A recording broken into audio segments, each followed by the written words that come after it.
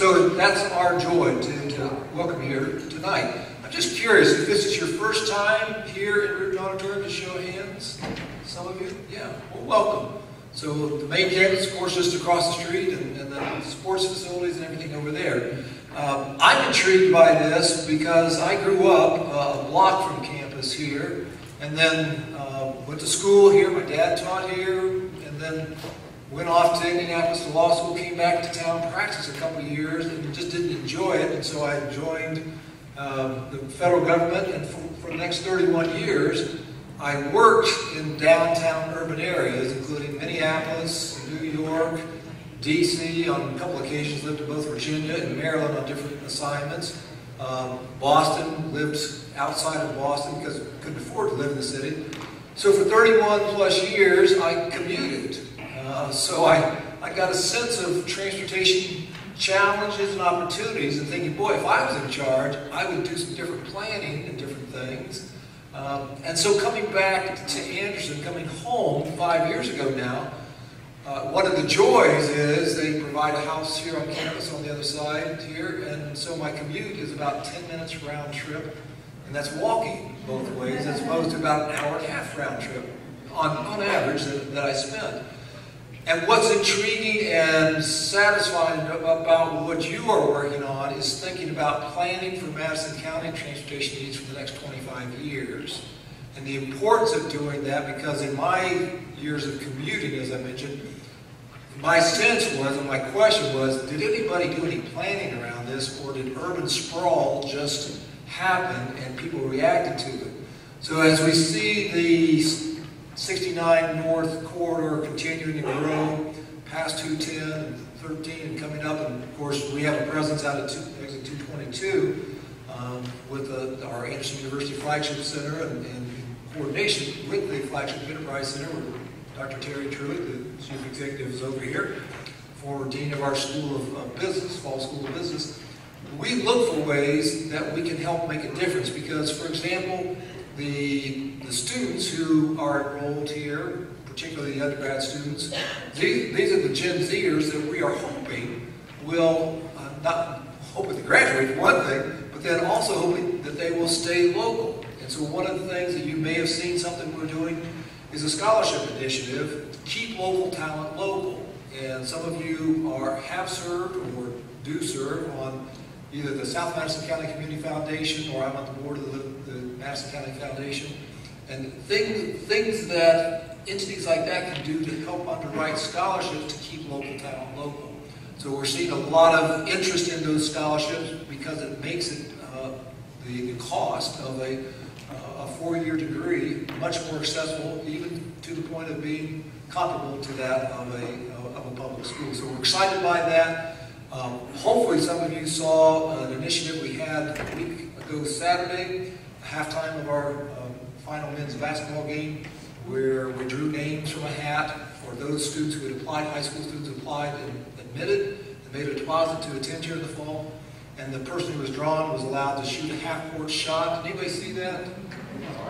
Yeah, so we, we've had a lot of views. It's, uh, and you saw it, you know, that this student from Alexandria High School hit the shot, which we had said that you, get year's free tuition uh, if you hit the shot.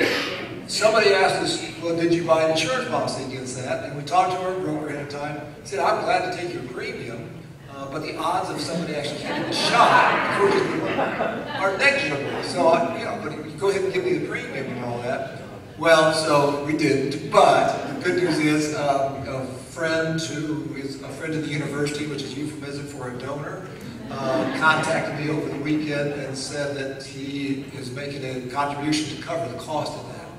So that's part of that partnership, and that's what you guys are all about, is looking for opportunities to be in partnership to inform the future for this next generation of, of people who hopefully will, will be here and see you. So with that, again, welcome. Let me now turn it over to Kyle May, who will guide you through the program. Thank you.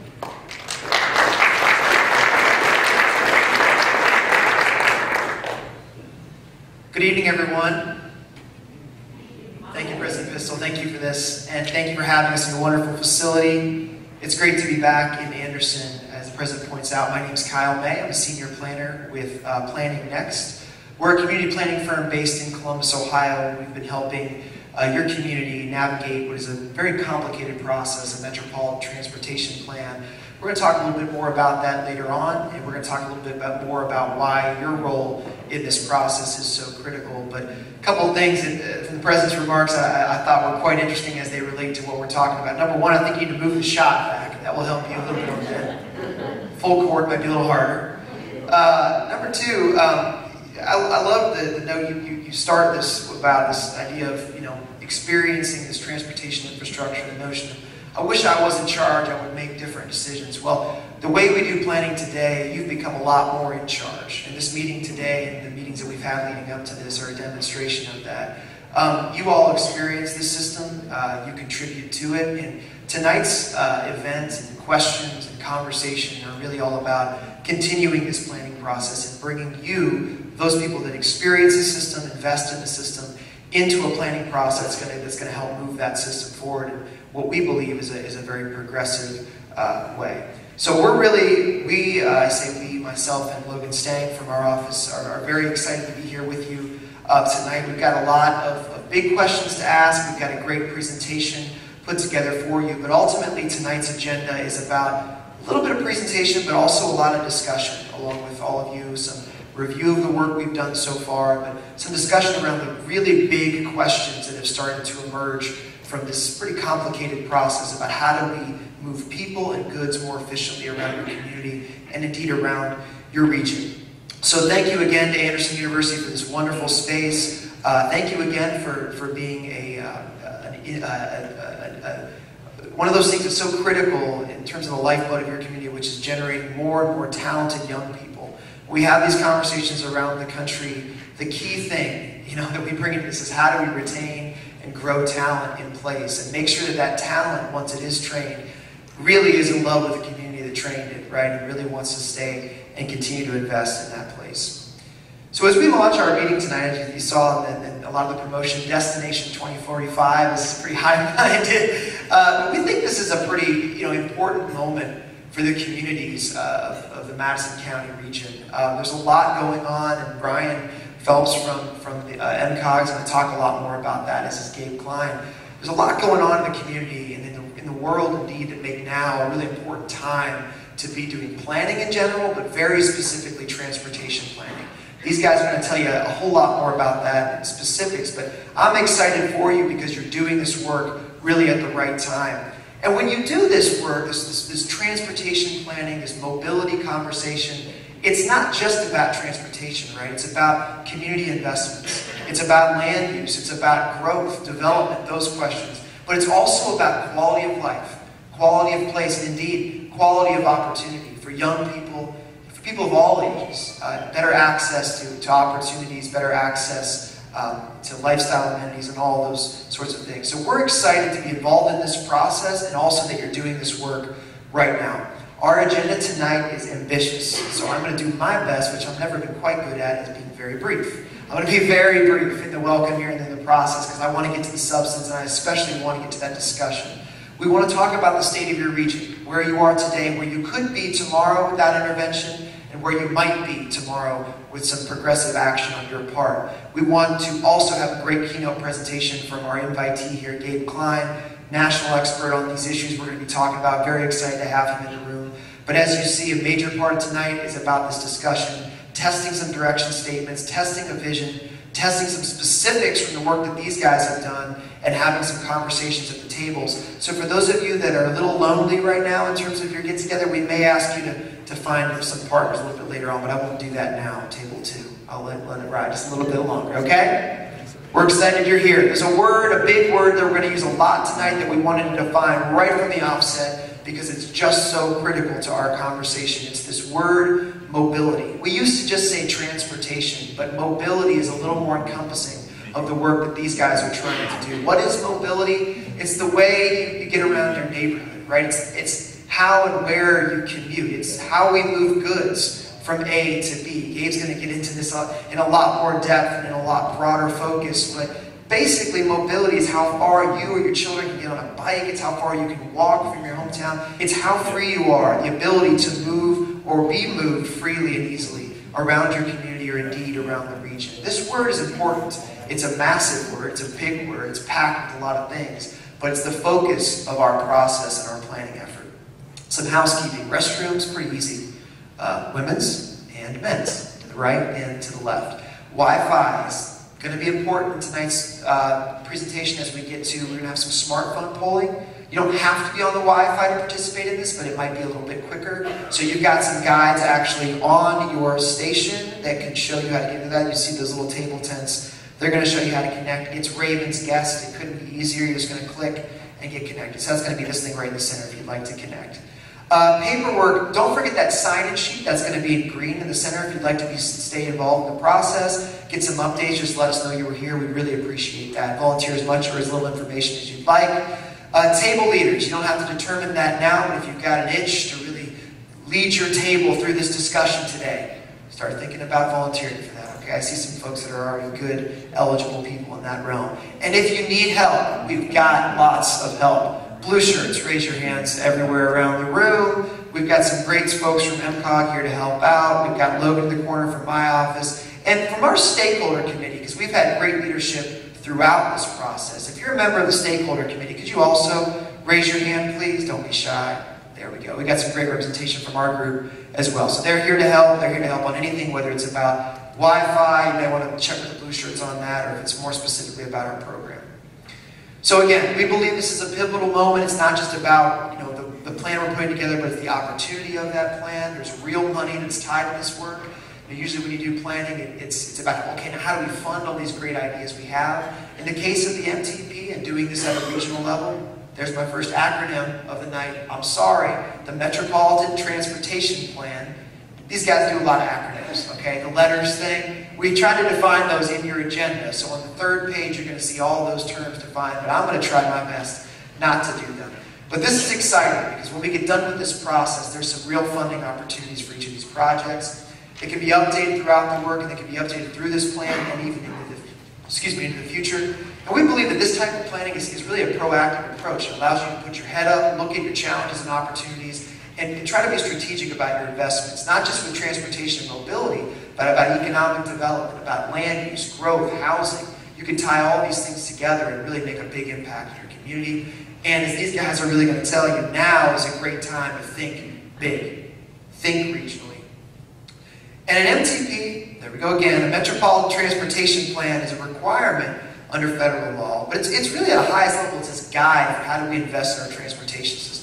It goes from things like sidewalks all the way up to interstate interchanges and regional transit. And all these things are encompassed in this very, very broad and large and ambitious process. But it is mandated for metropolitan planning organizations, and Ryan can tell you, will tell you a whole lot more about that. But it helps us guide, as a community, guide how we invest in that infrastructure.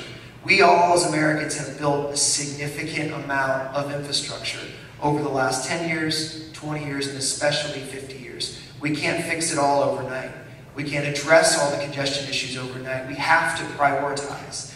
And through planning processes like this, we're able to do that. And not just do it alone in a room with it shut, but rather in conversations just like this, which is a new addition to this type of work. You know, it is part of what we're doing tonight is really not beginning a conversation, but continuing one. I see a lot of familiar faces in the crowd, which is great, that have been involved in some of our earlier conversations on this topic. We have over 100 participants that have contributed their time, their ideas to our first round of engagement through intercept activities and online forums. We also had a series of focus groups, so I see some of those faces as well. We got more detailed because a lot of this stuff gets really detailed really quick. It's about you know moving freight through your community, those issues. It's about the public safety and how they interact with that network, the pedestrian, the bicycle network, cyclists, those sorts of things. All those interests are really critically important, and we've tried hard to engage them through round one. And some ideas that have come out of these, I'm not going to put numbers to them because they're really, they, they really, do range. But you know, these these conversations have been interesting because they, the, the feedback we've gotten is one, been really resonant. There's a lot of things that people are concerned about. But two, it's been also quite wide ranging. But one thing at the center, and it's at the center of these dots on purpose, is that people, people should really be at the center of this decision-making process. Meaning that as we evaluate projects, it's the impact to people's lives, their quality of life, their quality of place, that's really, really critical here. It's not just about the necessarily just the efficiency of the network, but it's also about the impact of people and people's lives. Movement of people and goods, where do people want to live? This lifestyle question has been important, and Ryan will dig into that a little bit more when he talks about population. But ultimately, we've had a lot of discussions already, and what we're here to do tonight is really to test the direction. So the work we've done so far, everything we've heard up until this point, tonight we want to test to see if we're close, if we're heading on the right path, and if so, great. This is going to be wind in our sails. If we need to pivot, that's fine too. But we need to know along with you if we're headed down the right path, because we intend to come back to you, maybe in a little bit of different forum, but come back to you through the regional expedition and uh, uh, exhibition and review, prioritize, and really launch the plan um, into the future. So we're excited for this middle piece, this primary piece of our engagement work, but I also want to let you know that we're not done with that. So why are we here tonight? Our purpose with Destination 2045 is to do a few things. One is to share what you told us. We did a little bit of that already, but to share all the variety of ideas that you told us, whether it was about freight, whether it was about transit, whether it was about the cycling network. We're also here to think about some new ideas. So we're not done generating ideas. So we want you think hard, think critically about your experience, using the network, your experience and where you live, and what you think could be done to improve this place over time. We want to test our direction, and I went on, uh, I, talked a little bit about that already. And last, tonight, we really want to start to build something together. That Metropolitan Transportation Plan, while it's federally mandated, it's got a lot of checklists and requirements, it can also be a lot of what you want it to be, right? It should be defined about everybody's priorities in this room and the folks that are connected to you outside of this room.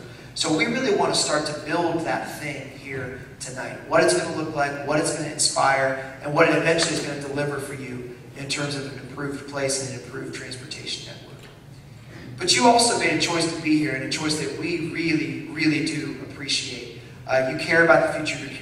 That's quite obvious, or you wouldn't give up a couple hours on a Wednesday night to be here to talk about it. You also have ideas. I know that because a lot of you have told me them already. Uh, this plan requires your input, um, and I, I, mean requires your input not just to be written, but to be implemented. This needs to be supported by the people that are here and the people that you're connected to as well. And it, there's the bottom point here I think is quite interesting, it's also quite new in metropolitan planning like this, is that you really have the opportunity to be participants in the implementation of this work. It's not that just Ryan and his team and the communities they're connected with take this plan and go do it, but there's opportunities to, to be advocates in this work. There's opportunities to champion some of these projects.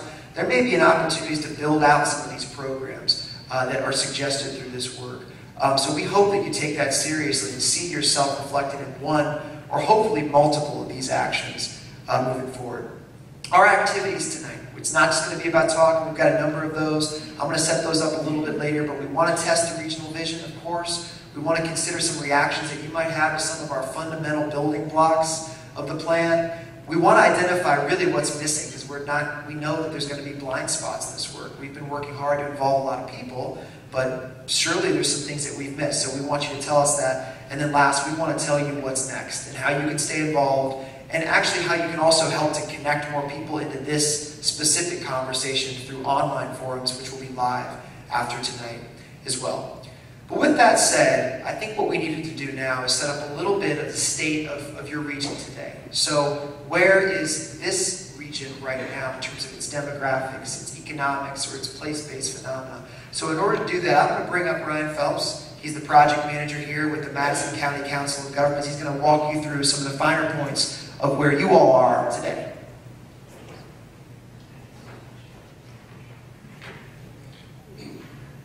Thank you, Kyle, and uh, thank you everybody else uh, who's in attendance tonight. Um, so I want to try to keep my comments fairly brief. I'm standing between you and a much better speaker in Gabe Klein. Um, I also want to say just a quick thank you to our team. So I'm really presenting a lot of the work that our team has been doing lately, um, just generally looking at the region. Uh, and I want to recap real quick what our region is. Um, so we're all of Madison County, plus the towns of Daleville and Fortville. Um, we plan for a population of 139,000, just over that. Uh, and we have kind of two different areas that we really look at. Uh, we have our, our MPA, or Metropolitan Planning Area, uh, which is roughly 471 square miles. And then the third, uh, a third of that is our urbanized area. That's uh, really the core of the area that we look at um, for our funding. Uh, so that's everywhere from Alexandria down to Fortville, um, kind of along that State Road 9, US 36 corridor. And, and, when we really look at this region, we've kind of identified three subregions um, set within that that really face some drastically different issues. Um, and, and, I'll reference these kind of as I get into the, the regional trends. Uh, but we break these out into the, the northern region, so that's uh, northern Madison County, Elwood, Alexandria, Frankton, Summitville. Um, it's a little bit more rural, uh, and, and, it comes along with some different issues um, from a rural aspect. Central East that's what we consider um, Anderson, Chesterfield, Daleville, Markleville. Um, that's really a lot more of an urban uh, type of setting, so it deals with very different issues from, from the northern subregion. Uh, and finally, we break out the southwest subregion, that's Pendleton, Fortville, Lapel, and Ingalls. Um, really on the suburban fringe of, of the, the, Indianapolis metro region, and, and they're facing some significantly different issues. So we really have a, a very interesting region um, with this cross section of three very unique subregions. Um, and, and, it has an impact within every level that we, that we look at. Uh, so, four key findings that I really want to be presenting on tonight uh, shifting population, evolving employment, uh, system safety, and disruptive trends. These are four areas that have kind of really popped out in our earlier discussions and some of our initial analysis that I wanted to make sure to highlight just to kind of set the stage for, for our region. Um, so the first one is the shifting population. Uh, so between 2000 and 2015, the region lost 2.2% of the population, um, despite the fact that the southwest subregion gained 17% of, of its population, or increased its population by 17%. So that really, really helps to illustrate the difference in in growth and where exactly it's occurring. So the southwest subregion is seeing a lot of sprawl from Indianapolis, a lot of uh, continued push of growth, uh, whereas the, the, north and central east subregions are really seeing a more significant decline and it's offsetting that, that amount of growth. Uh, but a lot of it's spurred from the uh, Indianapolis mega region, which is even projected to grow an additional 26% of its population by 2050. Um, and this has drastic implications for the transportation system. So, um, the first one we've highlighted here is reactive land use and infrastructure policies. This is really uh, trying to drill at the point that the communities in our southwest subregion uh, are small towns that don't necessarily have the staff or the policies in place to, uh, uh, to, to handle this type of growth. It's too much, it's too fast. And what happens with that is we, we um, end up with some significant issues uh, that, that transfer over into the transportation system. Along with that, we have funding shortages. So those communities can't necessarily fund all of the infrastructure improvements that they need in order to support the new growth. Uh, and then the north and central east subregions, as they're seeing a decline in population, uh, they don't have the funding in, in place in order to, to support uh, because of the loss of population. Um, and then, then, for us, really, that means that we have an issue in trying to balance where does our support need to go because um, even though the Central East is the largest subregion, uh, the Southwest needs a lot of help as well. So um, it's really about identifying how we can balance between those subregions. Uh, the second point that we have is on evolving employment. Uh, so it should come as no surprise to anybody here, but between 2000 and 2015, there was a continuation in the decline of manufacturing jobs. Um, and that, that's really uh, had a huge impact on um, the transportation system. Uh, in that time, we've also seen a rise of service industries, and this is an important note because those two industries, or industry types, have a very different use of transportation. Uh, and that really goes to the point of the implication of outdated allocation of space. Uh, so we no longer have massive manufacturing buildings that employ 10,000 people on one site and have to have uh, three three lane roadways in one direction to support shift working. Um, that's not something that we necessarily need anymore. So our infrastructure is outdated and it's ready to be uh, uh, brought into the 21st century. Um, along with uh, the shifting in, in industries, we have this massive dependence on commuting. Uh, so we have a huge time, about 35% of the workforce leaves uh, Madison County daily. Um, a lot of that's going into Hamilton County and Marion County, but it also varies around um, some of the other uh, counties around us as well. Um, so that really indicates the, the overdependence that we have on our commuter corridors like I-69, US 36, State Road 13, um, and those, those areas are going to continue to see issues if we don't uh, address the problem. And while, unfortunately, while widening I-69 is great for now, it's kind of a short-term solution. It's not necessarily uh, going to get us where we need to be uh, long-term. Uh, the third item here that we have is system safety.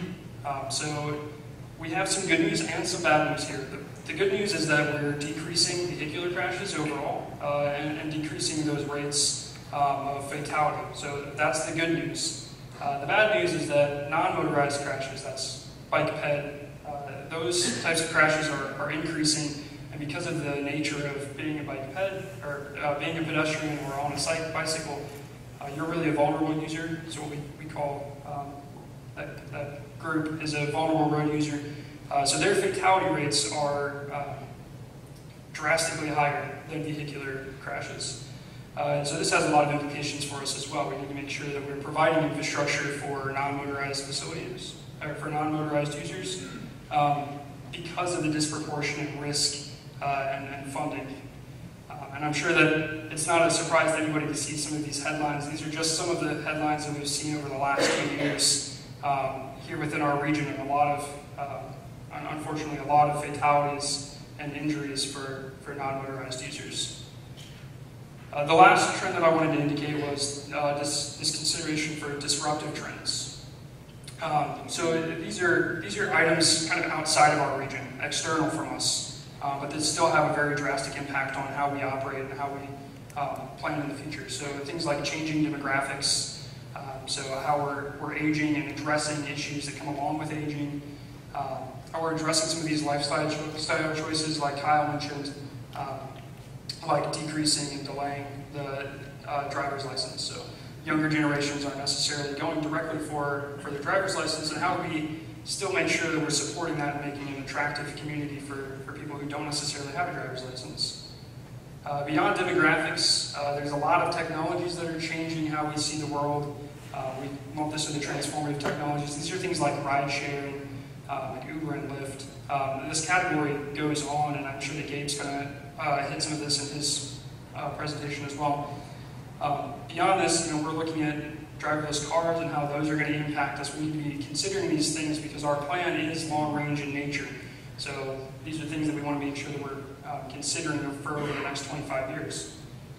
Um, uh, the next disruptive trend we have is climate change. This is something that we're just starting to see uh, impacts for and really trying to, to dive into um, research for that, uh, making sure that, that we're building a place that's resilient and it's going to be able to continue to support our communities moving forward.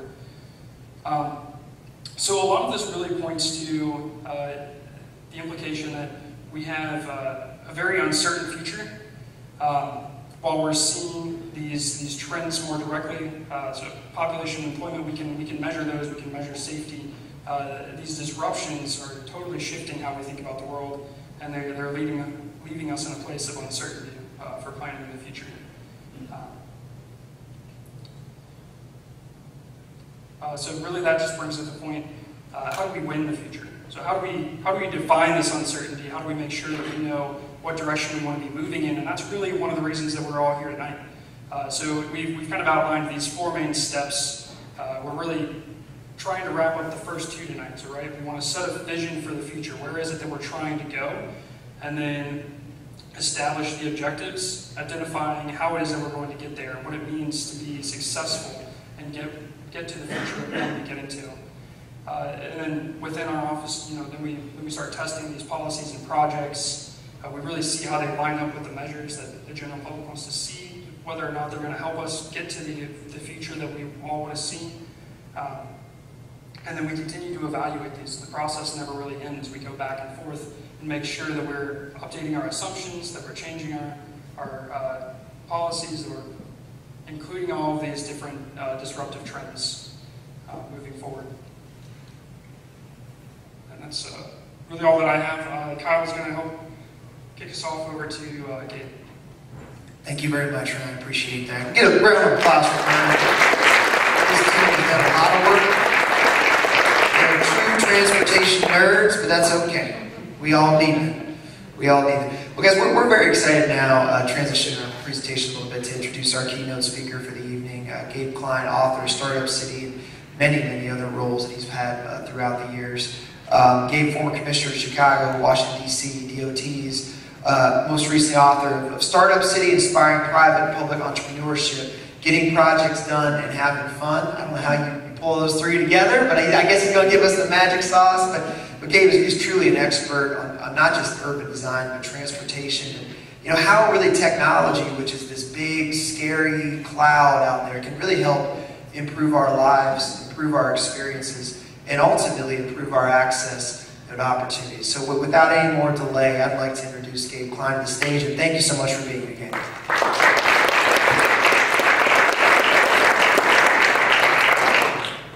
All right, good evening, everybody. Um, don't hate me for living in Washington, D.C. It's not all bad. Um, and I actually, I grew up, uh, I was talking to Brandon on the way here, I, I, grew up in two very rural areas as a kid. Um, and I grew up in a college town called Charlottesville before I moved uh, to the city. I think it's important to understand that it doesn't matter what size your town or city is. Um, what matters is um, the quality of life and the context, right? And the context is going to be a little bit different um, in various areas of your region. You've got very rural, you've got some downtown, you've got suburban, um, and that's okay. Um, but we can make all of it better and as we are building and rebuilding, we want to make sure that we're building resilience, right? We want to make sure that we're building infrastructure um, that's good for us. And I'll talk, talk more about that. Um, often it's not.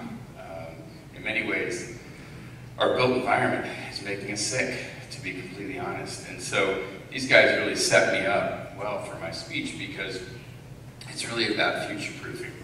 Um, and uh, there's a lot of shiny objects out there, and some of them are great, and some of them are just shiny objects. But we're going to talk about separating the wheat from the chaff and figuring out what's really important for the long term to make this a place that you want to live, that you want to raise your families, that your kids want to raise their families, and that bring more people here if you want to. Uh, so you have more tax base, right? Um, more opportunity for growth and more opportunity for people to do well. Um, so you can substitute town or community or region in there.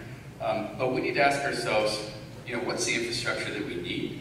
And when we look at the infrastructure that we have, by the way, this is not unique to here. Everywhere I go around the country, um, it's the same question. Why have we built all this infrastructure that's at odds with what we need as people? And often, um, we're continuing to build infrastructure. We're continuing to expand highways. Um, so we'll talk more about that. But let's let's set up a, baseline here and talk about how we got here and you know, what do things used to look like. Um, around the turn of the last century, into the 19 teens and 20s, the transportation system was much more balanced. And th there's an old saying that um, uh, best transportation plan is a good land use plan. And what does that mean? That means if you do a really good land use plan, people don't have to travel that much uh, day to day. And if they don't have to travel that much, then you don't have a lot of movement, and therefore you don't have a lot of congestion, you don't have a lot of greenhouse gases. So back in the day, people weren't traveling as much. Um, and you can see in this picture people cross the street whenever they want, right? And, and where they want. You see there's cyclists, there's pedestrians, there's people on streetcars.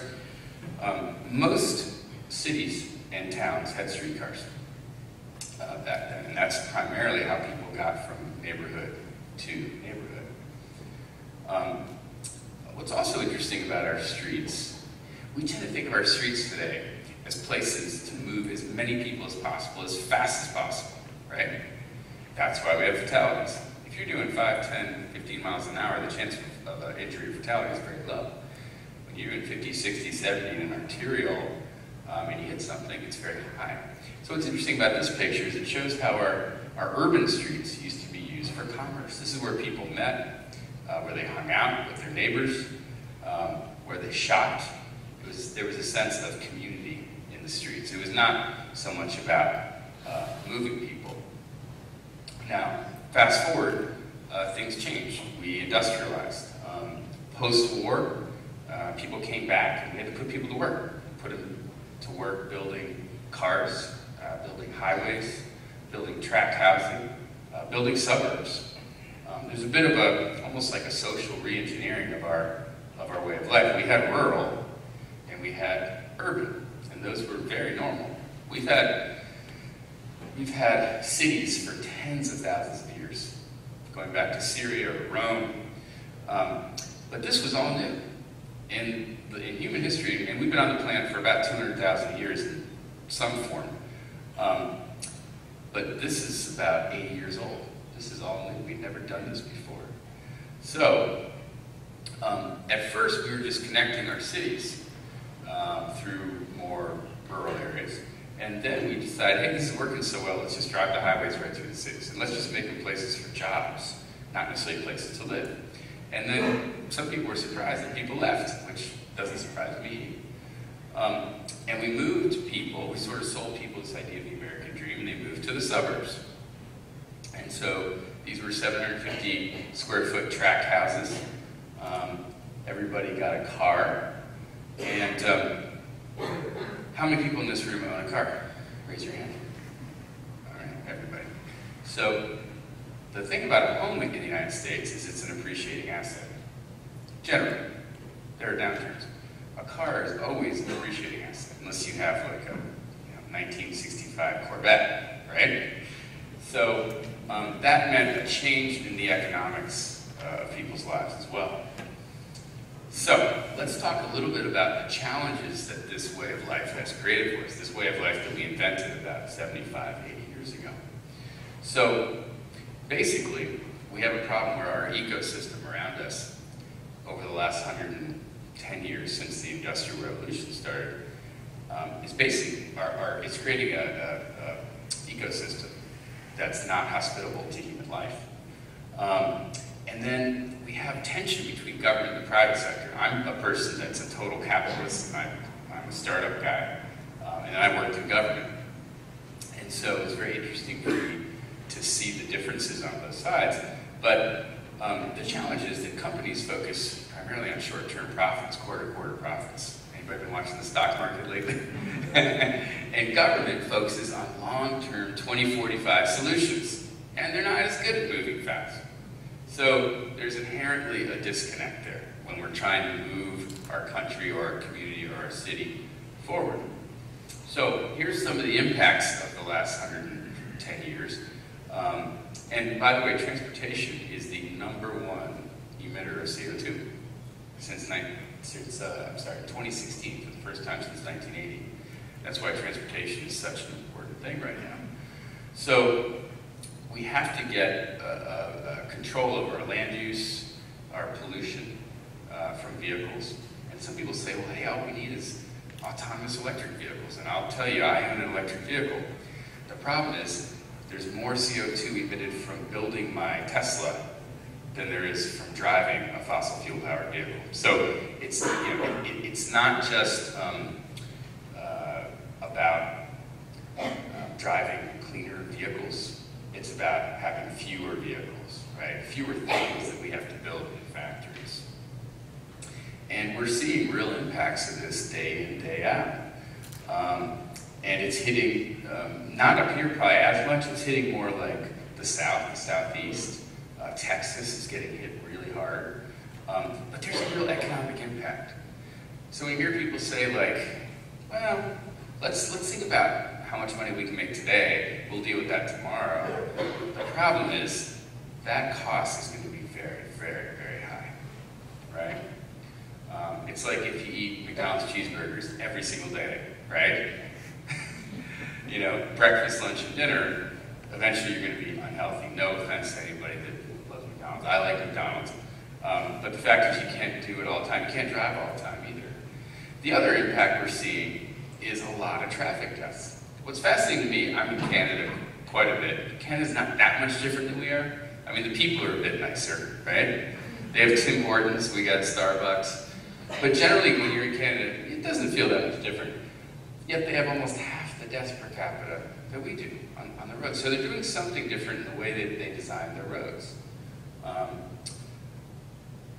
and the other thing that's interesting, and we have some of the best healthcare in the world, particularly like you know cancer treatments stuff. But man, is it expensive. And we spend a lot per person. There's a lot of reasons for that. I'm not going to try to oversimplify it. But the fact that we have a very sedentary lifestyle, we drive everywhere, um, doesn't help. If you look at these other countries and you look at their transportation systems and how much they spend sedentary in cars, it's very different. So there are all these secondary and tertiary impacts of the decisions that we make around the investment in our transportation system. And then, to make it, you know, to compound it, it's really hard to fix. Like, these are complicated. You can't just look at transportation in a silo, right? You can't just look at health in a silo. Everything's interrelated. And so it makes it really challenging, particularly when you have a built environment that is built to then change it. So let's not be too hard on ourselves. Um, and that's why we have long-range plans. But there are also things you can do in the short term. So this part is about expanding your mind in terms of what you think is possible. Because look, we all have a frame of reference, right? I'm mean, I guess the average age in here is maybe 50.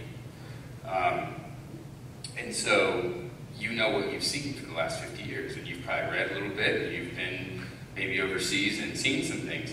But the reality is we are sort of victims of our limitations and frame of reference, all of us.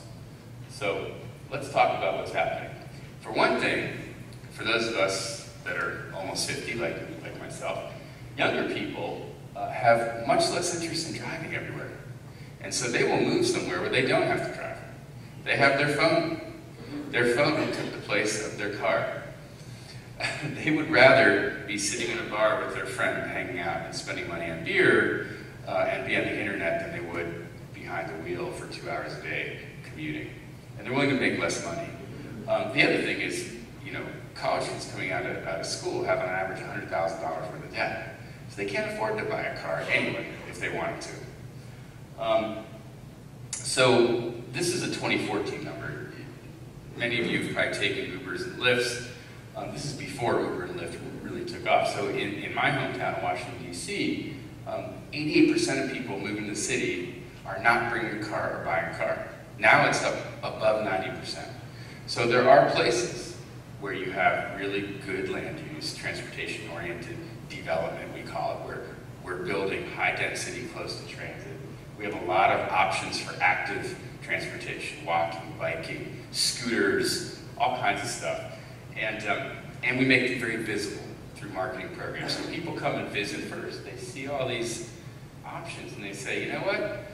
I'll pay an extra $500 a month and I'll live near the metro and I won't spend $900 a month to have a car. Um, and even with all these cool technologies and all this stuff that's happening, when you talk to younger people, they say, I still want to be close to the transit station, right? Because it's not so much about moving people. Yes, I'll take transit sometimes. It's more about everything that's organized around that transit. It could be a commuter rail station. It could be a bike share station. But what you'll find is when you locate or co-locate multiple transportation options, all of a sudden you get more development, you get the restaurant, the bar, the doctor's office, right, the grocery store, and it becomes a community, it becomes a node. Um, but we do have a lot of these new business models, and they're lowering costs to get around. You can get on a, on a bike share in my hometown for 28 cents a day, unlimited use, right? That's pretty affordable. And when you have these young people coming out of school, um, or older people that want to age in place, um, they are not into the idea of hyperconsumption that we were all into in the 20th century. Everybody wanted a couple cars, white picket fence, a swimming pool, all of this stuff. Um, people are more into this idea of sharing things. Shared vehicles, shared scooters, um, community. Um, this is a picture from Copenhagen. Some of these pictures I took, some are off the internet, but when I was in Copenhagen a couple years ago, um, which is an amazing place for biking and for transit, not for driving so much. So if you want to buy a car there, right? Um, let's say you want to buy a Toyota Camry.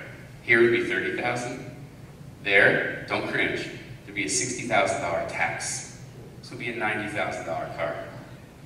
But that $60,000 goes into the transit system. So almost nobody has a car because the transit is so amazing. There's trams running down every street. There's bike share everywhere. So when you go to the airport, instead of the big rental car counter, there's these giant screens saying for 80 kroner a day, whatever that is, I think it's like 10 bucks, you get unlimited access to all the transportation. Not only that, you get unlimited access to the museums, the Tivoli amusement park downtown, the bike share system.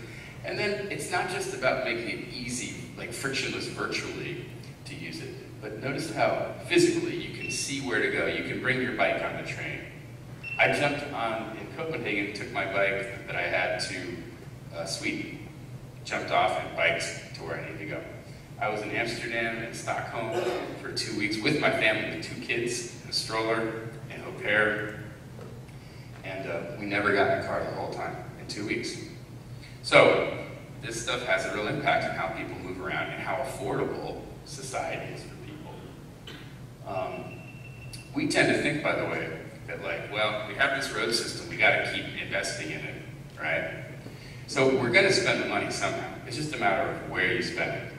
And then depending on where you spend it, you get these externalities like pollution and other things that you got to pay a lot of money in the back end So when I was in Chicago running that DOT, we said, you know what? We're going to do something really radical. And in our complete streets document, our big planning document, we're going to say this, that we're putting people first. And we assumed that we're going to get a lot of backlash, like AAA and others. We got no backlash. Because it's hard to argue with putting people first. You know, for decades we've been putting the car first. And where has it gotten us? 1.24 million deaths per year worldwide. So, who knows what the number one killer of young people is in the United States, 10 to 19? Anybody? Car crashes. It's not coronavirus, it's not HIV, it's car crashes. It's a health epidemic. But we take it as the cost of doing business, right? We accept it. So we said we're going to reorient our streets towards people who want to walk and bike. Um, and so there were simple solutions like this, you know, four lane uh, street, four and a half lane street. We took one lane and made it a two-way cycle track. And we used digital technology at the intersections um, to uh, uh, change lights when cyclists were there or when cars were there. Um, we used sensors, and there was actually no impact to the throughput of automobiles. Because the other thing, that's a bit of a fallacy that, that we think, is like, hey, we need to expand the roadway because there's congestion. And first of all, everybody thinks they have congestion, and most people don't actually have congestion. But um, when you expand the roadway, it actually only helps on average for two months, and then you have more congestion because psychologically you're telling people to drive, right? Um, but the other thing is, in an urban environment or, or a town environment where you have a stop sign or, or a, a, a light every block or two, you can't go fast, right? So it's not about fast, it's about organized throughput. And we don't optimize our signal systems. Instead, we keep building extra capacity. And part of that is that the road builders want to build more roads. It's a stimulus program, but it costs a lot of money. Other things you can do, we had a very, we had a lot of these unsafe five-way uh, intersections in Chicago, so we made them art projects. And um, uh, through public art, we also uh, sort of hid the engineering that had to be done to make them uh, safer. Um, there was a bit of study that went in, but you can do these in a couple days uh, in terms of putting them in. Um, so you have other uh, places like Barcelona, that are saying, you know what, we've got a, a climate crisis, we've got a fatality crisis, injuries. we want to cut 60% of our emissions out, 60% of our um, traffic, and so they came, they came up with this idea for super blocks. So they have these like five by five uh, neighborhood areas, and the, the first step is to say um, no left turns. So what happens? So when you turn into the neighborhood, you have to turn right back out. Pretty simple. So you can't drive through the neighborhood. Um, and then phase two is you eliminate uh, through traffic completely, unless somebody lives in that area or it's a delivery truck. And at first, really controversial. People are like, I don't want that. That's terrible. It's horrible. By the way, all good ideas are very controversial at first. You may know this. Because we have people that are on average 50, you've probably experienced enough. This is true. Um, and now, everybody wants super blocks. Once they saw the quality of life, now people are competing to get super blocks and they want to build 500 of them in neighborhoods throughout Barcelona because this is what people want. They want livability. They want quality of life. They want to be able to walk to everything. They don't want to spend two, three hours a day in their cars or worrying about their kids getting run over. Um, who's been to San Francisco? Anybody here? Okay. So Market Street is sort of a famous street in San Francisco. Uh, 10 years ago, I think, they floated the idea of closing it to, to cars. And people were like, that's crazy. That's absolutely crazy. Uh, recently, unanimously, uh, the uh, city council voted to close the street to cars. It's been a huge success already. Um, and you have other places like Tucson, um, uh, Phoenix, uh, other places. I know light rail is controversial here, or streetcars. I know you probably can't build them. But um, you could do BRT. Uh, there's all kinds of interesting transit projects happening around the country with very high returns on investment. Um, so let's talk about how we get where we need to go. Um, for one thing, we have to accept that like we got to look at something beyond level of service, the idea of just moving as many people as we can, as fast as we can through intersections. And that's what typically the state departments of transportation are focused on. And to be honest, it's a pretty worthless metric. Most of our intersections are failing. And um, so it can be an F plus or an F minus, but it's still failing. However, the outcomes that we're trying to accomplish in terms of making people healthier, uh, making people happier, reducing emissions, um, increasing economic activity, those are more important. Whoops, okay, this thing's in wrong. There we go. Um, when I was a kid, when I was born, uh, most kids um, walked their bike to school.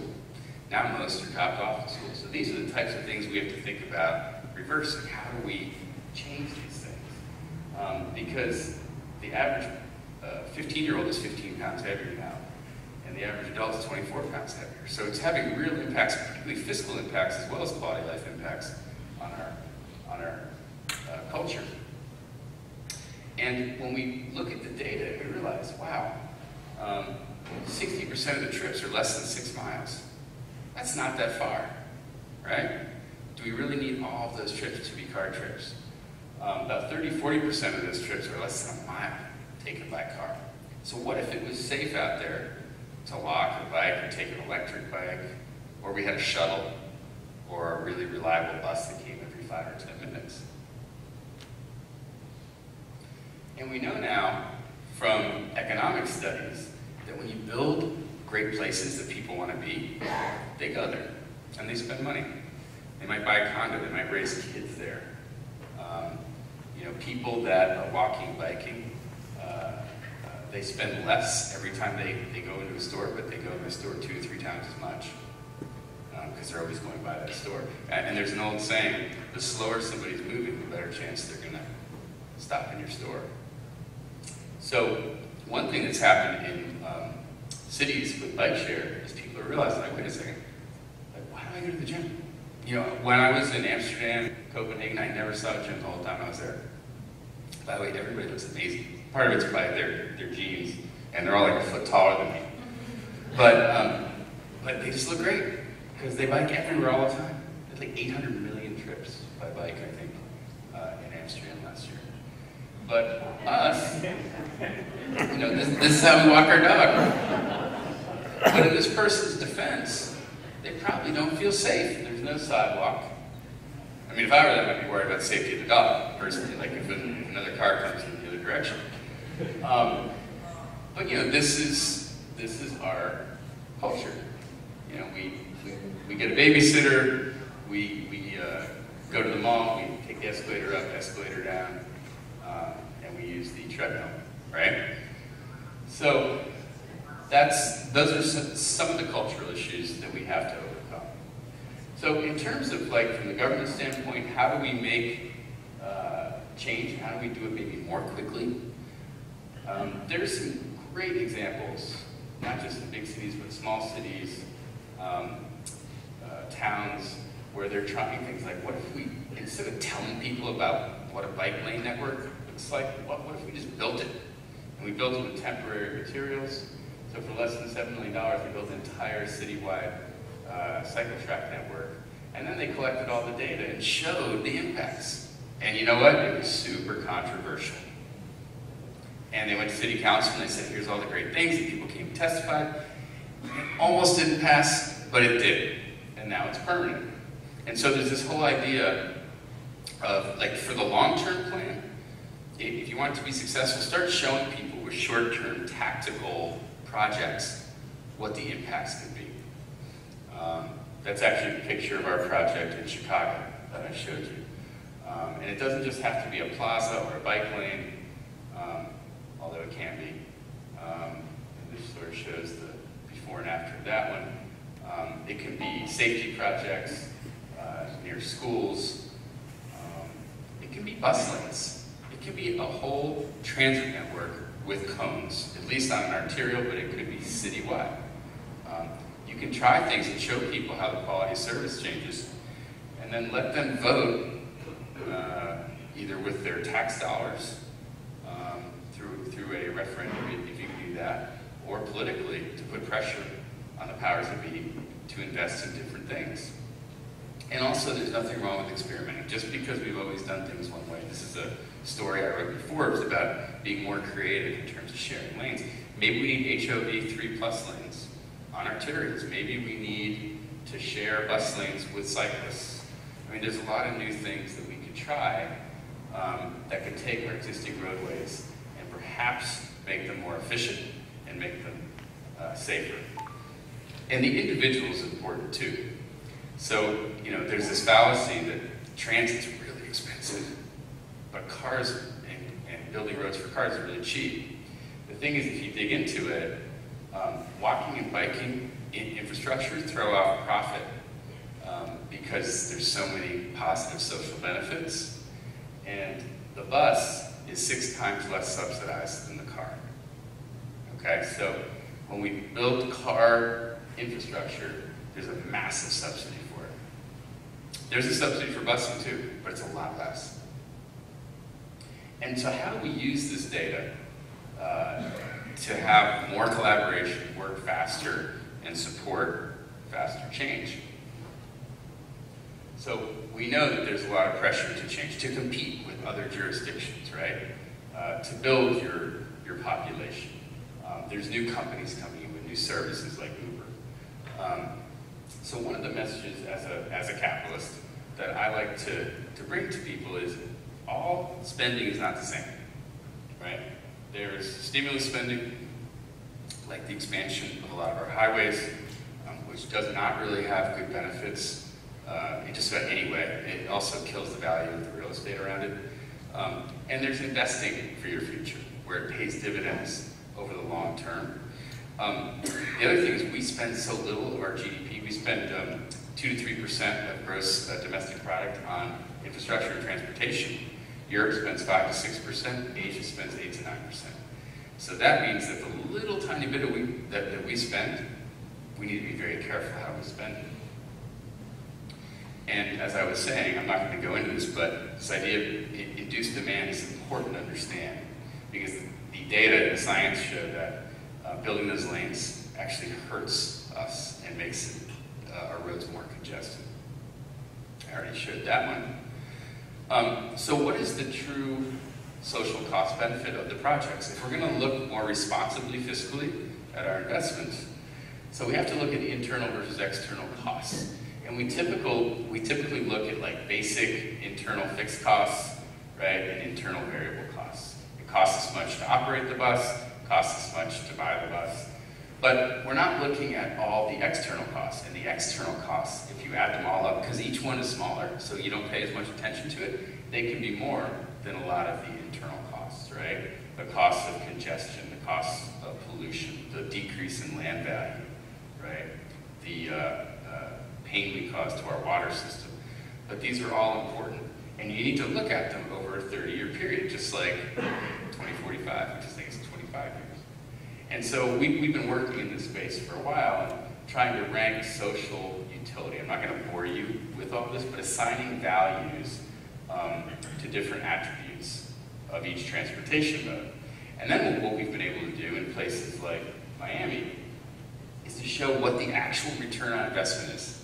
How many projects do you see the government put forth and say, this is the ROI of this project, this is the value that you, the taxpayer, are going to get out of this project? Not only do we not do that, but we don't look at all the external costs. So when you look at economy, environment, equity, fiscal return, happiness, health, and safety, guess what? Something like a bus rapid transit line, 27 times return. Whereas that extra lane on the highway, probably negative 10x. There's a difference, right? So we should demand that our government show us this type of analysis. Um, and then, once you have that type of framework, then you can start doing scenario planning saying, well, what if we did this versus that? What if, in addition to the bus rapid transit, we also put in a bike network at the same nodes as the bus rapid transit? And what we found is sometimes you get three to four to five X returns.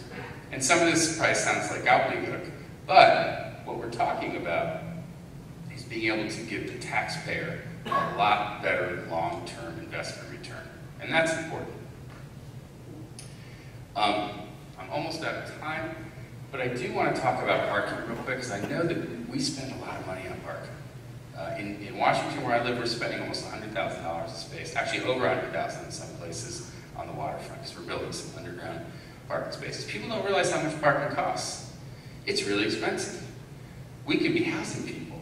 So the average two bedroom, these are like 2012 numbers, uh, across the U.S. in 2012 was $800 a month. I, I need to update these, uh, these numbers. You put underground parking space in, that's a $1,300 a month rental instead of 800 right? That's a 62.5% increase to the cost of living versus investing in a bus that runs by every five minutes. So, meanwhile, we've got half a million people that are homeless. Who's heard of microunits? Anybody heard of microunits? There's this trend in cities uh, part of it's due to these college students with $100,000 in debt, but part of it's people wanting to live near things more than wanting to have a lot of space. Um, and so the average parking space is 330 square feet. The average micro unit is 330 square feet. So just imagine if we took some of our parking garages and parking spaces and we converted them into housing, actually 325 square feet. At current interest rates, people could own their own micro-unit homes. People coming out of school, for instance, for $358 a month, or low-income people, right, who we give affordable housing rentals. So to some of you, this probably sounds nuts, but what I'm saying is, why are you prioritizing storing cars over people? Right? And these are some of the, again, secondary, tertiary impacts of the investments that we make up front in our transportation and our land use system. So when we build that sprawl, there's a lot of costs. You got to run the electrical out there, right? Flint, Michigan, closing half the cities they can't afford to run the utilities. It's not efficient. It's not fiscally responsible. And personally, as a fiscal conservative, I embrace high return investments. I don't care how much it costs, as long as there's a high return. Because people ask me all the time, well, how much is too much to spend on a bus system or a tram system, and I say, I don't care how much it costs. And they say, well, that's completely irresponsible. And I said, no, let's measure the ROI. Um, and let's see what the impact is. And then once we measure the ROI, let's look at the fully loaded social cost benefit over 30 years. Phoenix, not exactly a liberal place, sort of a, uh, purple place, Um, they made the initial investment in a light rail line from the airport, and um, it was very controversial. they did a great job with it, and they have seen incredible investments to the point where people voted to tax themselves to the tune of actually $31.2 billion to build out a citywide network. Why? Because the ROI is like 150 billion. So who cares if it costs 30 billion? If you're going to see that kind of return, um, and now they're seeing even more development and more investment, right? So um, there's real impacts from investing versus spending. You know, I could keep going, but I feel like that's sort of a strong point to end on, unless you want me to keep going through. Yeah, go. Okay. Okay. So let's talk real quick about some of the cool shiny objects. And I, am into technology. I also do venture capital. Very excited about autonomous vehicles. These are all the trends that are coming right now, are happening. Shared electric, autonomous, active scooters, bikes. Um, co-creation between government and um, uh, uh, and uh, private sector, and then big data. Um, there's a lot of other things happening in the background um, that are going to change the way people move, uh, change the costs of it, change our cost of living. Um, the fact that we will be living off of ener uh, energy produced by the sun and wind instead of oil is going to be a big thing. You guys are doing a great job of that here, actually. Um, everything's going to electric. The car companies have already built this into their plans and, and they're building them into their factories, as well as buses and bikes and so on and so forth. Um, something that's both sort of good and bad is uh, we've been really fixated on getting stuff brought to us. It can be more efficient, um, but there are also other impacts. Uh, as we know, a lot of downtowns have been hit hard by this, um, and so it's be really important to be competitive for stores to be doing something unique, experiential, versus just selling the same stuff that's on Amazon. Um, we're seeing a lot of investment uh, in autonomous vehicles. I happen to think this is really interesting. Instead of focusing on moving people around, bringing people stuff in uh, very small format vehicles that can um, uh, ride on the, on the regular road network. Um, with autonomy, we're not there yet. We're not there yet, I can tell you. I have a Tesla and it's, the autonomy is terrible. It's not really autonomy, it's really advanced cruise control. But we are getting there. We are getting there. And and the technology is getting better and better and better faster. But it's not going to solve all of our quality of life and maintenance problems. It's just another technology, another mode. There's a lot of things that are coming that look a lot like things that came before. Basically, there's nothing new. Um, how many people have taken Uber or Lyft? Uber and Lyft have spent the last 10 years saying they're nothing like the taxi. We were invested in, in Lyft. Well, let me tell you something. They're starting to put color schemes on their cars, they're putting advertising on top, and they're, um, and they're making adjustments to their algorithms so, so the drivers can, can decide if they pick up fares or not. It's a taxi. it's become a taxi. So same with scooters. We, we had scooters 100 years ago, we have scooters again. And so, you know, what we're seeing is this movement towards access. People want access to things, they don't necessarily want to own things. It's still a big business, but it's not going to be what it was building cars and everybody buying a car and, and driving around and building concrete for, for roads. In my book, Startup City, I, I try to map out a, a responsible future where we use the technology appropriately, but we don't say, we're just going to use a robotaxi all the time for everything. Because it doesn't solve our problem. It doesn't solve our environmental problem, our quality of life problem, our construction problem. It just pushes it further down the road. So we still need transit. We still need livable, walkable, transit-oriented, you know, places. And we need rural places too. So the thing we have to admit, this is in Los Angeles. Feel lucky you don't live there. this doesn't work. Um, you know, you can build more and more and more and more lanes, and you'll have the same problem, but it'll just be worse. So we have to admit that it's bad, bad, and bad really bad economically also. Um, there's so many technological trends, and I'm not even going to talk about any of them. But what I will say is they're both very exciting and in some sense uninteresting. They're not going to solve our basic problem. So the autonomous vehicle, as much as I love it because of safety, and I want people to get out of driving vehicles, I want my kids to be able to walk to school and not be worried about getting hit by a car. This is just what one means to the cities and towns and regions that we want. We really need public and private to work together to be more socially conscious and fiscally responsible. And when they are, this is um, the private sector uh, and public sector came together and built Clyde Warren Park over a freeway in Dallas, one of the most polluted, nasty places in Dallas. Nobody wanted to live there. When they turned it into that, it became the most valuable real estate in Dallas. Everybody wanted to live there. That tells you something, right? Public and private work together, and that costs $100 million. It's not that much when you look at the impact on the real estate values. And if you think like change is not going to happen that quickly, it's, it's happening quickly. This is from the Industrial Revolution, not the uh, information age. But this is 1900. There's only one car. It's all horse and buggy. And in 1913, it's all cars. There's no horses.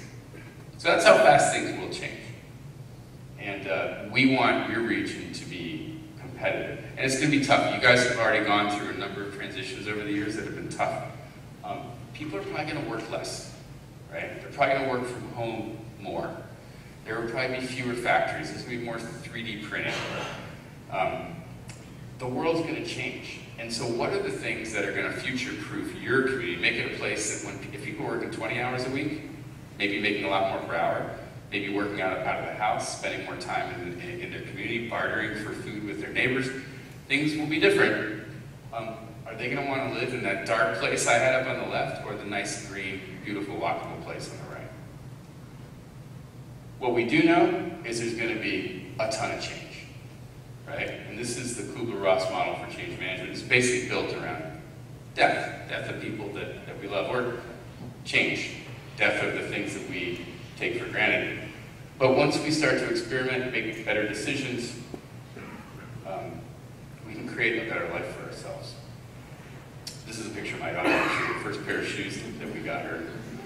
Um, but when you look at the United States, we are the richest country in the world. But we're 18th happiest according to the happiness index. So GDP, number one. GDP, social support, health and life expectancy, freedom to make life choices, generosity, perception of corruption, everything else, we're not so high. So we can do better. And when you think about transportation or mobility, as we are now calling it, or connectivity, is it a privilege or a right? Do people have to have a lot of money to have good transportation, or should it be something that everybody has access to? There's a new movement towards universal basic mobility. Google that. It's really interesting. And so we've been talking a lot, and working in Los Angeles, for instance, on transportation happiness. This idea that we should look at the quality of the trip, not just how fast we get people there. Do you get some exercise on the trip? Do you get to read a book? Do you get to do some work? Right? Do you enjoy your trip? Transportation should be fun. And by the way, not everybody wants to live in a big city. In fact, you look at the, happy, the happiest places in the US, almost none of them are big cities. They're places like this, but they have very livable, walkable, high quality of life environments. Charlottesville, number three, my hometown. And the good news and the bad news is we have to do this. We don't have a choice. The stuff that I'm talking about is not optional. Yes, it would be much better for our pocketbooks. Yes, we'd be happier. All those things. But if we don't, our kids aren't going to have a place to live. Thanks for listening.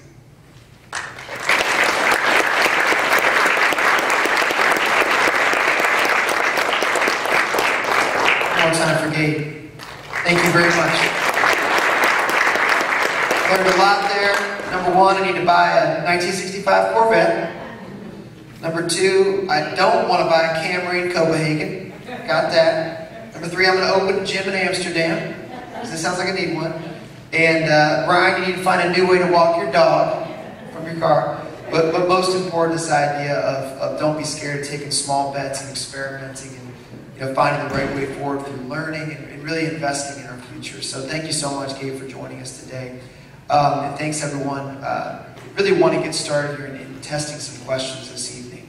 Um, as I mentioned before, we've done a lot of learning, we've done a lot of communicating, but we really want to learn a lot too from you this evening. Our purpose, we want to take another step here. We want to share some of your experience through a few survey questions. We're actually going to do that in a somewhat smart way. We're going to use um, some smart tech, but we've also got a, a less smart way to do that as well, in case you'd rather do it that way. We want to talk a little bit about our mission statement and our vision statement, some statements that are really guiding Ryan and his team's work forward that are really important for us uh, as we as we test this. We want to get you some reactions from you. Those are those guiding lights that sit on top of this work. They're supported by goals, objectives, and actions, but we've got to get this general consensus thing right first. So we want to start with that statement. And before we get started on this tonight, I did want to do some quick uh, housekeeping. So in the center of your table, Underneath that big sheet, there's going to be actually a smaller uh, set of sheets that looks just like this. I'd love if everybody could grab that. It's right there in the center, ma'am, under two. Yes, you guys might have it out already. So this is going to be an accompaniment to the activity we're about to run through. So in order to run that activity, um, if you'd like, I'd like everyone also to go ahead and grab their, their smartphone if they brought it with them here this evening. Don't, rem- don't forget about our blue shirts that are out there, just like at Best Buy, to help you out. We want to do some quantitative testing. We want to get some data, but we also want to get some qualitative feedback. And this is going to help you do that, so is your phone. So I want to give some instructions here. We're also going to need a pencil. Everyone should have one of those, or a pen in front of you to be able to do our activity this evening. We've got a general comment card. I'll talk about that stuff later. So if you've got your smartphone out, uh, if you're connected to Wi-Fi, that's great. You don't have to be to run the exercise, but you see some, some instructions here at the center of the table. The first thing I'd like for you everyone to do is open up a browser, so Safari or Chrome or whatever you might have on your phone. You're going to open up that browser. And I'd like for you to type in www.menti, M-E-N-T-I.com into the address bar. Don't worry, I'm going to blow this up. Menti.com, and you're also going to see these directions right on your survey and vision worksheet. All right. You get that typed in. And when you get to the first prompt, I'm going to, I'm going to go over this again, you're going to type in a code. It's 58, it's 580925. Okay. Okay, so as you start to get connected, if you get to that first screen, what I want you to do is just go ahead and raise, either raise your hand up or just flash us. If you're having some troubles connecting, we got some folks all around the room to help you get in. Remember, you don't have to use a smartphone, but it might be a little bit more fun. So once you see this screen in your browser, you're going to go to 580925. All right, that's menti.com. Okay.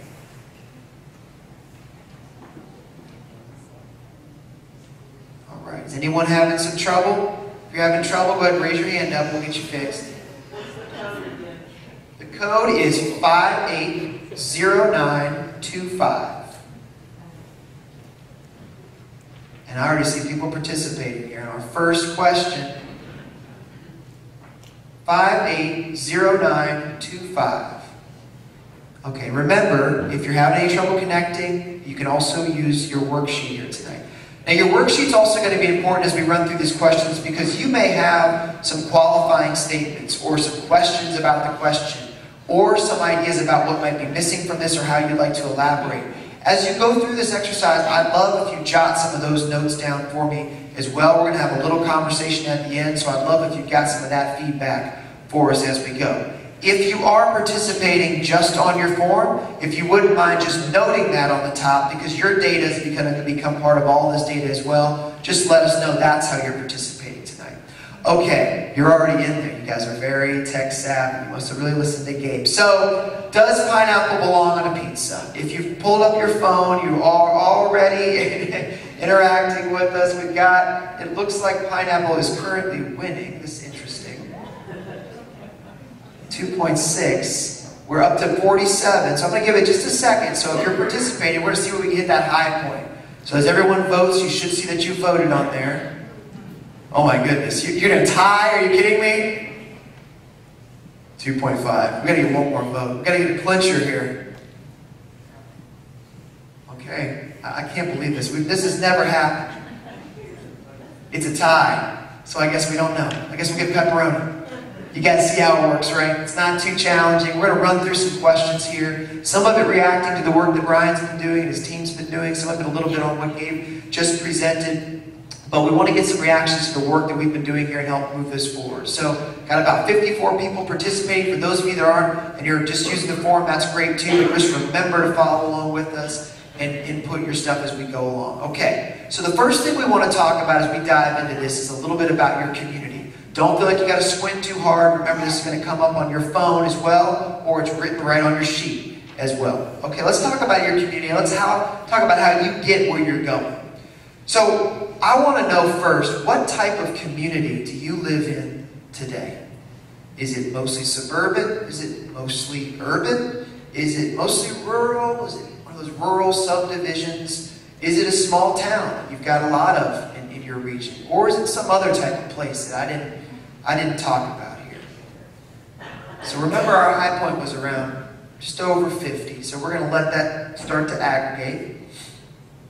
Got a lot of small town folks, got a few urban folks.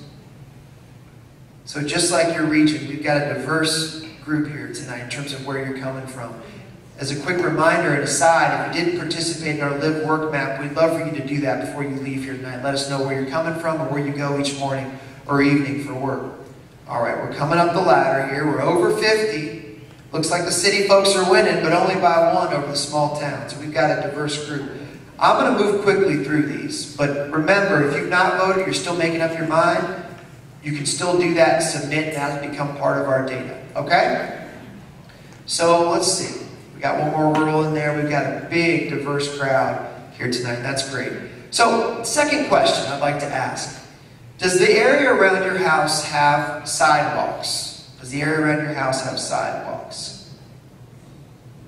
These guys, as you, as you recall, we're not just you know planning for certain types of infrastructure. We're thinking about the whole thing, trying to understand what the system looks like today in terms of what's there and what's and what's not.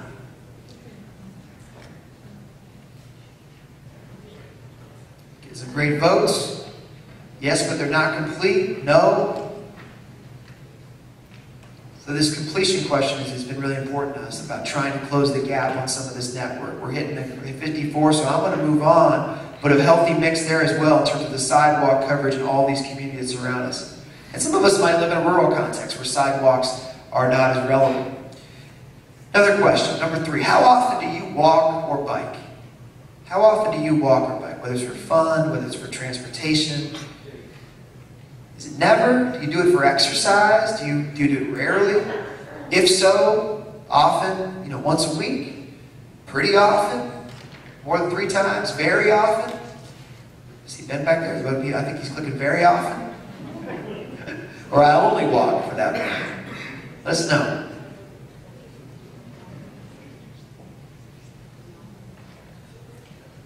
All right, pretty good mix here. Healthy crew. All right, you guys see how this is working, right? So a few questions, variety of types of questions we're trying to ask.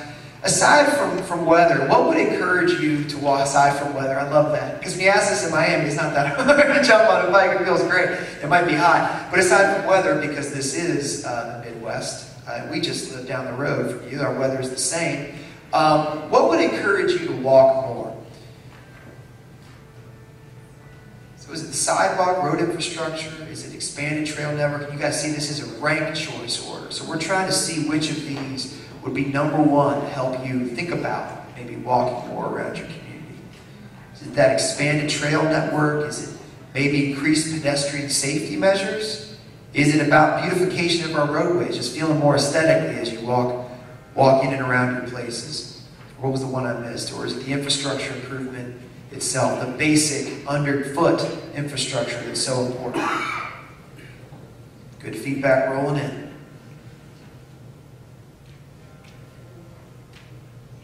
So that trail network seems important. And that's definitely something that we've heard a lot about. One of those great assets that's really burgeoning in and around this region is the notion of some of your multi-use trails. Um, not, not just in your region, but in the surrounding areas as well. Obviously, Indy really has been leading the country on that. So great feedback coming in here. I'm going to advance in the, in the spirit of time, but It looks like sidewalk and road infrastructure is quite important to this question about what would encourage you to walk a little bit more. What about on the transit side? So when we think about transit, whether it's a bus or some other means, if you think about ranking these orders, what would encourage you to think about transit or even to take transit more? Is it about the frequency of the buses? Is it about maybe a closer bus stop to where you would get on or where you might get off? Is it about those route destinations that, that are out there uh, that we have today or we could have? Is it about extended service hours? Is it about consistent routes or stops? Uh, or is it about a better understanding of just the system that, that already exists here today? So tell us what, how would you rank these things when we think about transit? Transit's been obviously a big part of our conversation, a part of the data that, that Ryan's been working on through this work. The challenge we face in this is this, as, Ryan would be the first to admit, this is a very large region, right? So this frequency and coverage question is really, really important to us. Good feedback coming in.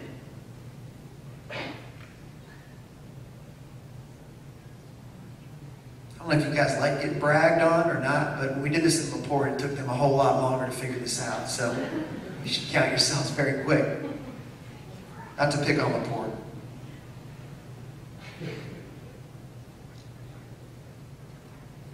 All right. Doing great. Doing great. Remember, if you're still contemplating, you're still ranking, you can still do that. But I am going to move on. So, big question here. How do you get to work or school every day? And remember, this is the dominant way. You may be multimodal in some way, but it's the dominant way you get to work every day. Do You work at home? Are you lucky enough to work at home? Are you retired? Are you even luckier to be retired? Do you drive alone? Do you carpool? Do you take the bus? Bike or walk? Taxi or, or ride hailing app, even though Lyft doesn't want to be a taxi apparently? Or is some other means? Great quick votes coming in here. Saw a lot of clustering around driving. Some lucky folks working at home and some retired. How about how long your daily commute is? So tell us about the length of that. When you, when you go to or from one way, remember one way, how long does it take you? Is it more than 45 minutes? That's quite a, quite a hike, all the way down to, again, I'm lucky enough to work at home.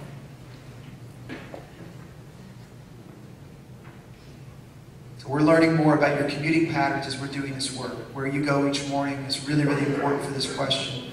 And that first blue bar about working from home or telecommuting is a big part of this, you know, understanding that moving forward, like the tax that, how we tax our infrastructure. All right, great feedback there. Now let's talk a little bit about our region. So we talked there about our community, about your experience, about your mobility. Let's talk about our region. Are you concerned about the loss of natural and or agricultural lands to growth and development. Now this is one of those spectrum questions, right? So you can tell me, yeah, well, I'm a little concerned toward the left, or I'm not concerned at all. You know, that's the price of progress. Or on the other side, yeah, I'm extremely concerned about this particular question. This notion about the loss of natural or and or agricultural lands to growth and development. Remember, this is thinking about our region. So that big map back there, our, our region feedback coming through here. All right. Remember, I'm not going to kick you out. Let's rank something here when we talk about quality of place. We talk about the places you like to be in your community. What makes a strong quality of place in this region? Is it about the shopping and entertainment? Is it about arts, culture, history? Is it about the community events, the programming, the activities, the vibrancy of the place? Is it about the natural spaces or green spaces that we have here in such abundance? Neighborhood centric businesses, those nodes, those centers. Um, and remember, if it's something else, you've got your sheet. Jot that down. Let us know if there's something missing.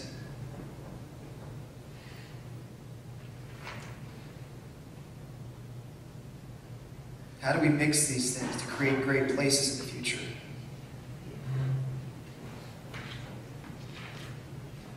Events are important. The green spaces are important.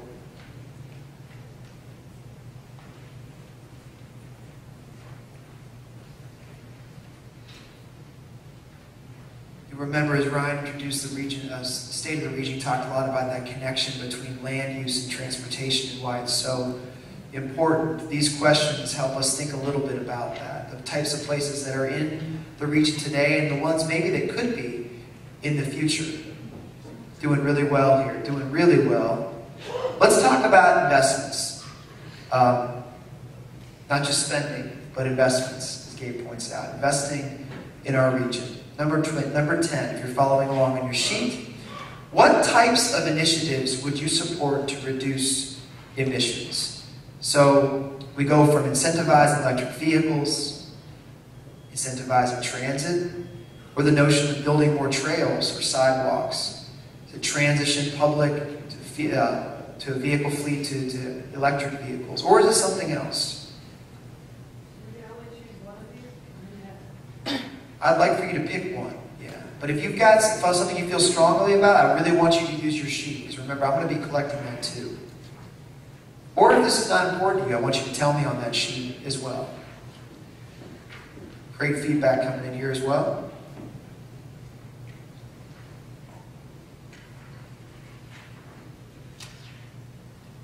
Okay, this is a this is a little bit of a trickier question. But I want you to think about the $100 million that we've got to spend, 113 to be exact. We think about how we can invest that really strategically into our region. With $100 million, how would you invest in our transportation system? Now, what you get to do with this one is you can click in $10 increments, or 10 million, wow, $10 million increments, uh, and up that for each of these initiatives, right? It says a percentage, but think of that as a dollar sign.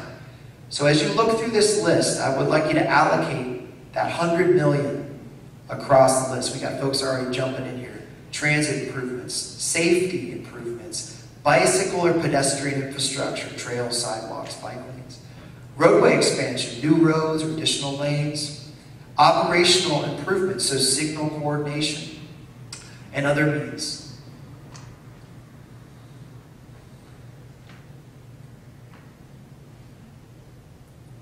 Seems like a lot of money. I think it would go pretty quickly, right?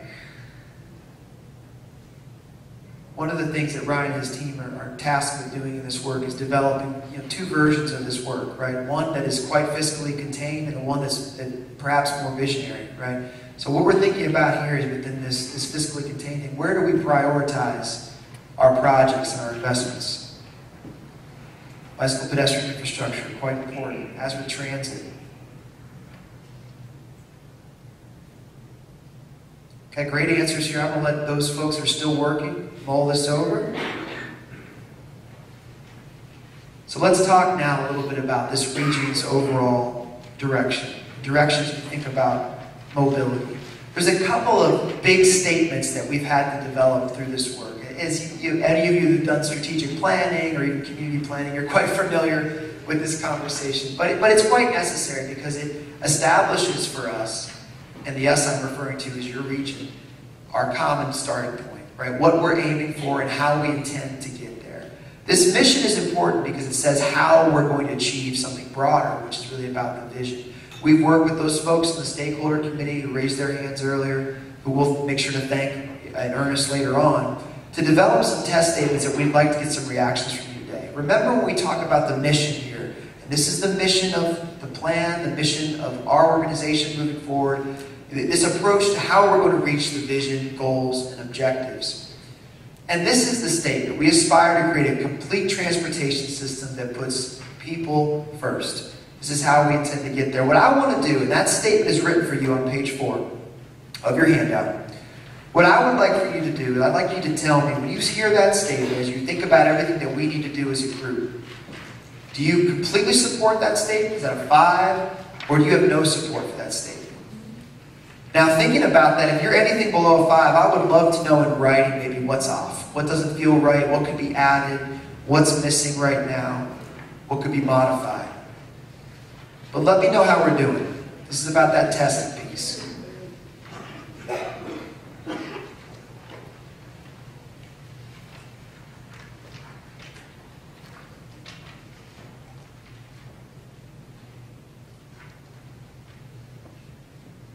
Again, this is how we operate as we move forward, trying trying hard to improve our community year on year. We aspire to create a complete transportation system that puts people first. Great feedback coming in. It's like you're overall, you're okay with it. That's that's great. It's really good to hear, right? Um, the other side of this that's, that's quite important is what are we aiming for? What are we aiming to achieve? Our vision statement is, has been the process of, well, it's been a long process of communicate of conversations with you all, and we've tried our best to encompass a lot of thoughts in as few words as possible, which is, as you know, quite hard to do. But I want to reveal that statement. I want to get some feedback from, from the team here uh, in the room. But remember that this is our desired future, right? This is our desired future state. It's the broadest expression of all of our aspirations. And we're thinking here about our mobility, we're thinking about our transportation network. Our vision, through 2045 in motion, we aim to realize a transportation system that is efficient, effective, and equitable. And we dive into those statements and we define efficient as emphasizing strategic investments that enhance existing assets and strengthen community connectivity. We define effective, seamlessly integrating multiple modes of transport and embracing innovation to safely connect our communities locally and regionally. And we define equitable, ensuring all, reason, region, ensuring all residents have access to the growing opportunities of the broader region. I'm going to open this up. Remember, you've got this also written in front of you on page four. We see that statement being supported by those principles, those pillars. A lot of ease. Effective, efficient, equitable. Tell us how you feel. If you're not a five, tell us why.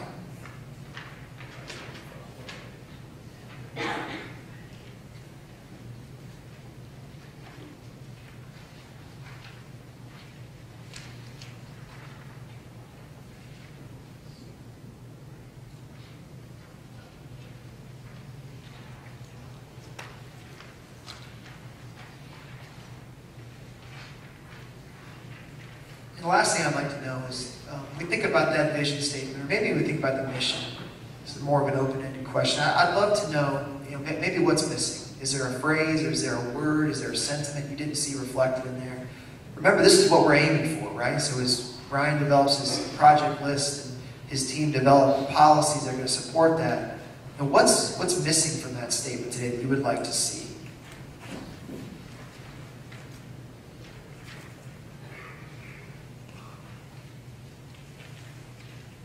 And I'm going to leave this one open as we transition into our next activity. But remember, you can always reflect back on this. This one's going to stay open. So as your, as your group, as you individually come up with ideas, add them to this list or make sure that you jot those down in the work to go. How we pay for it? That's the prime question, isn't it? Right? A lot of great stuff coming out here. Revolutionary, partnerships, safe. Mobility should be in the statement. That's maybe a good catch, right? That's going to be our core word, right? Great stuff. So I'm going to leave this open and I'm going to leave this active. So remember, you can continue to add as we go. But you no doubt through Gabe's comments, through Ryan's comments, likely not from mine, but from the team overall, have some things and some ideas that have come up through uh, through this reaction. What I'd love to do is, with the brief time we have left, the tables that you've all formed naturally, to have a quick conversation about some of your strongest reactions from, from tonight. So for those of you that are feeling an itch to kind of be the Napoleon of that table, I would love if there's a team leader that could self-nominate, that maybe, and I say team leader, I mean someone that can help write down the conversation you're all about to have.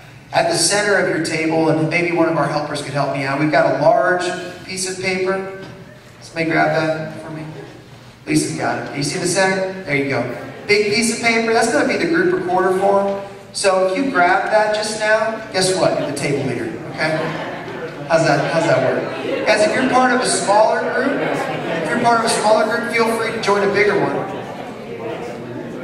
But table leaders, why don't you go ahead and raise your hand real quick? Got table leaders, table leaders? Table one and two? You guys may want to merge if you want to. Table leaders? All right. Well, thank them for, uh, for their poor hand here.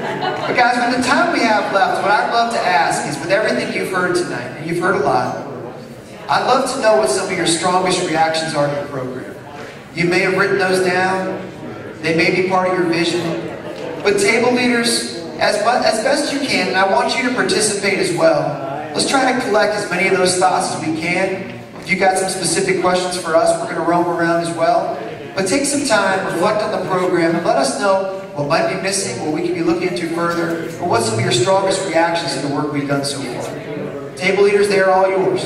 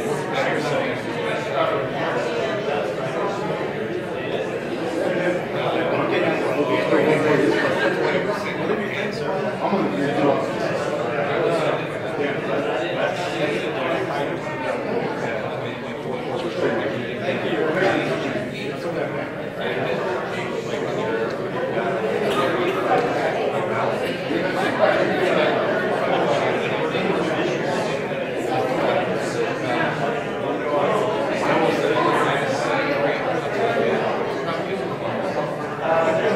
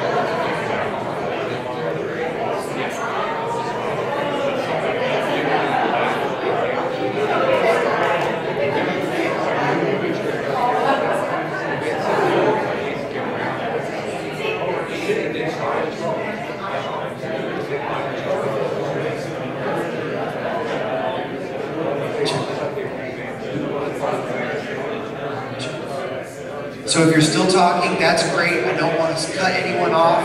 But I did want to give our co-chairs one chance here to thank you for being here, thank our stakeholder committee, and point a little bit of the direction forward. We've got a few next steps.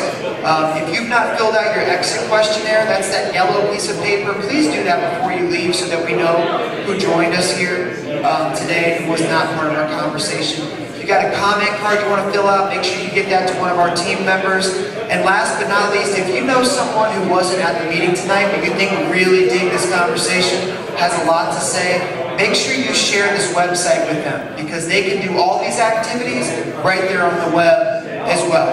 But before we leave, I wanted to introduce and thank personally our co-chairs for this effort, for the 2045 in Motion effort, Lisa Floyd, Sherry Peak Davis. They have been instrumental in guiding our committee through what is a very, very complicated process. We've gone through a lot of acronyms together. But Lisa, Sherry, thank you so much for being here. And would you like to close out and thank everyone for being here as well? Thank you, Kyle. I want to say thanks to everyone who took time out of their busy schedule to join us tonight. And a special thanks for your participation and your input. There's a whole lot of conversations still going on, and that's a great thing. And as Kyle said, don't let the conversation end here tonight. Go online, um, send your friends and your colleagues, and, and keep participating in this conversation. Thank you to Gabe Klein for leading his, lending his perspective to this important and, uh, conversation for our communities. Thank you to the MCCOG staff, the interns, and the consultants who initiated and continue to lead this thought and planning process. Thank you to the committee members for their time and their interest in this journey. We're all very excited to be leading such an important process, and we're encouraged by all of your support and your ideas that you're giving back to us. And it is a journey. It's been a journey. Um, so our next steps, We're going to be integrating um, all of your perspective priorities into a model for regional growth and development. Will be developing an action agenda in pursuit of our communities, and I like to use the word communities as plural because again, I want to um, encourage from all aspects of Madison County, and we have Fortville and Daleville and Chesterfield, we really need all of the communities' input in this and the vision for mobility. And we will launch the implementation of the Metropolitan Transportation Plan and begin to transform our region.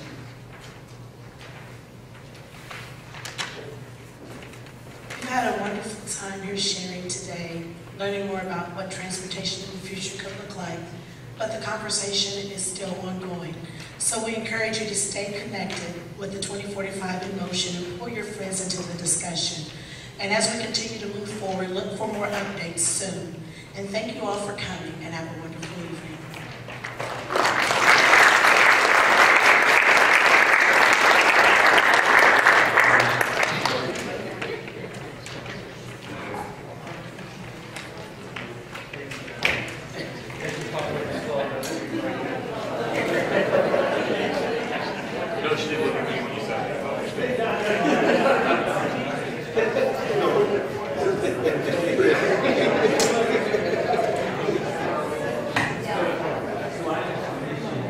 And last but not least, I'm I, on my list and I missed it. I would just like to say thank you to all our sponsors who have not only made tonight happen, but it's uh, more events that are going to be coming on in the future. Couldn't do without them. So thank you so much for the sponsorships the ongoing support to Motion 2045 and other really important community efforts as well. Thank you, and thank you all for being here.